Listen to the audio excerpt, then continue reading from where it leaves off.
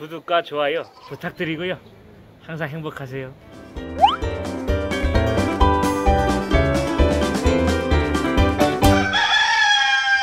아무튼 여기까지 와서 제가 이제 열심히 살라고 이렇게 농사를 지러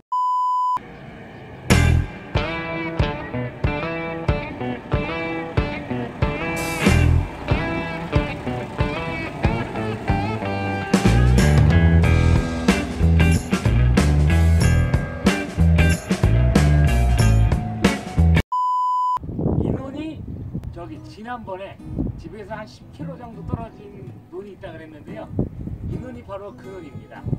안성 시내 시내권에 거의 다가서 전에 있는 논인데요. 시내에서 여기 가깝습니다. 아무튼 여기까지 와서 제가 이제 열심히 살라고 이렇게 농사를 지러 이제 오늘 한 게 저희 동네에서는 애벌 친다 그러는데요. 지역마다 틀립니다.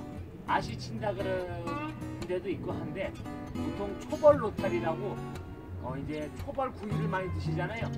초벌 로타리를 한번 치고 보내기 전에 마지막으로 이제 로타리를 한번 그때 가서 더 치고 이제 번지라고 해서 평탄화 작업하는 그 농기계가 있습니다. 그때 가서 이제 번지를 대면서 제초제를 주면서 이제 딱 번지를 끝내놓고 흙탕물이 가라앉고 한 5일 안에 이제 심기 하루 전날 물을 빼고 이제 심으면 됩니다.